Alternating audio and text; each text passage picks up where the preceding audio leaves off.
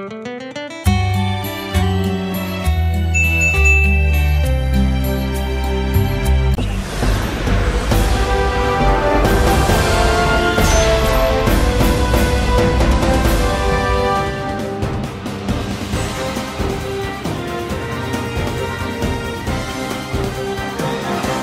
मैं सूरज कुमार और आप देख रहे हैं पल पल। सांसद दुष्यंत चौटाला का सायराना अंदाज।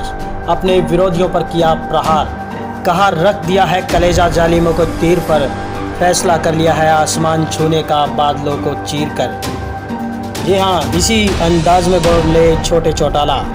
उन्होंने अपने तीखे अंदाज में कहा कि हमें कमज़ोर करने वालों को जवाब देने का समय आ गया है। कहा, मेरे पर जो आरोप लगे हैं, उनका जवाब मैं ज़रूर दूँगा। लेकिन मुझ पर जो आरोप लगे हैं, वो है कि विरोधियों की पार्टियों के साथ मिलकर के पार्टी को तोड़ने का काम किया है। वहीं उन्होंने कार्यकर्ताओं से कहा कि अनुशासन समिति का जो भी फैसला आएगा, वो मुझे मंजूर होगा, लेकिन सही फैसला आप लोगों ने करना है। झज्जर पार्टी के कार्यकर्ताओं के बीच में पहुँचे थे और पार्टी कार्यालय में पहुँचे थे दुष्यंत चौटाला।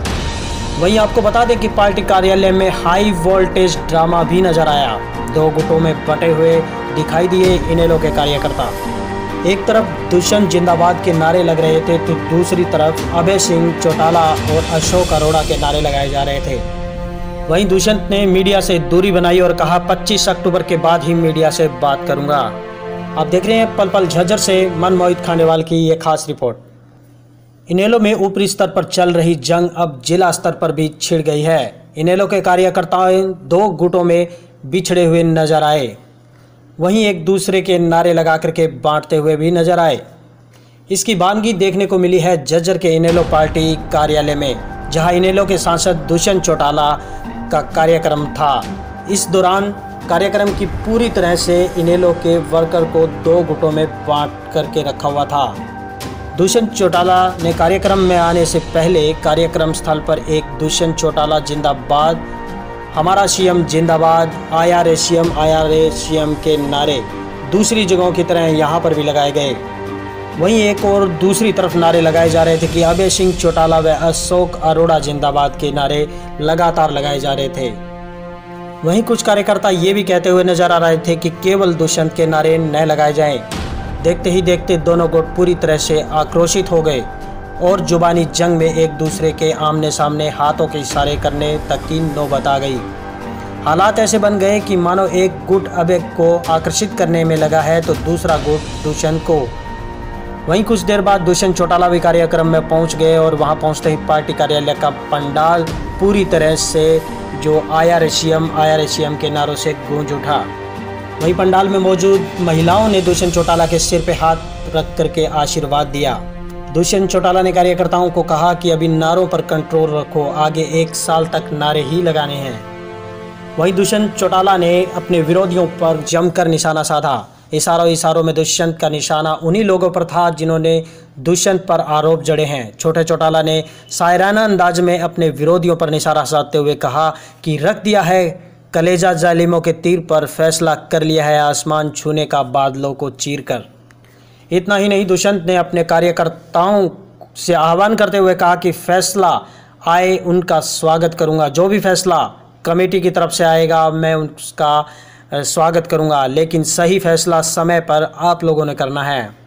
लेकिन दुष्यंत चौटाला ने न जाने क्यों कहा कि मैं पूरे प्रदेश में कहीं पर भी मीडिया से बात नहीं करूँगा, मैं 25 के बाद ही मीडिया से बातचीत करूँगा। अब 25 के बाद दुष्यंत चौटाला इस बारे में क्या कहते हैं, ये आगे देखना होगा। इसी के साथ आप देख रहे हैं पल पल की एक खास रिपोर्ट।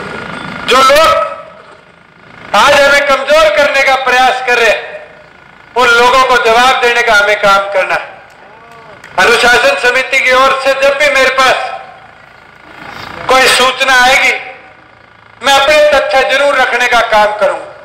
पर जो आरोप मुझ पर लगे मैं ज़रूर आपके सामने भी रखना चाहूँगा। और फैसला आप लोगों का भी लेना चाहूँगा। कहा जाता है कि गैर आध्यात्म मात्राओं के साथ हमने मिलकर, और पार्टियों के साथ मिलकर इंडियन नेशनल लोकदल का ढांचा तोड़ने का मैंने प्रयास किया। आप यहाँ बैठे हो पिछले छह सालों से, निरंतर आपके बीच में आया कभी मैंने पार्टी को यह कहा कि फलाने कांग्रेसी के पास जाओ। बीजेपी वालों के साथ में जाने की बात करी तो यह विश्वास ज़रूर रखना, अनुशासन समिति जो भी फैसला देगी, उसका स्वागत करूँगा, पर फैसला फिर आप लोगों के बीच में छोड़ूँगा, आपने करने का काम बुज़ुर्गों युवा साथियों मैं तो एक चीज़ कह सकता मैं तो एक चीज़ कह सकता हूँ आपको